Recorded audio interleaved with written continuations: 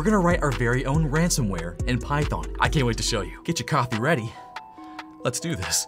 Here in Linode, I'm just gonna copy my SSH root command here, fire up command prompt here in Windows, paste that command, accept all fingerprints, put in my password, and we're in. We're actually going to write some ransomware in Python. Now, this is gonna be crazy because ransomware is one of the most dangerous and, and devastating malware out there. It'll take files, any file, and it will encrypt them or lock them up. And the only way you can access your data is if you have the key. The ransomware will go through pretty much every file it can access, and it will lock it up. And what will happen is it'll say, hey, we'll give you the key, but you gotta give us some sweet, sweet cryptocurrency. Scary, right? Happens all the time. Before we start writing some code, let's go ahead and create some files that we can attack and encrypt. So let's make a new directory, mkdir, here in Linux. We'll name that sucker ransomware, and then we'll jump into that directory by doing cd ransomware. So we'll do echo, this is a file, and we'll output that file.txt txt. Let's do another one.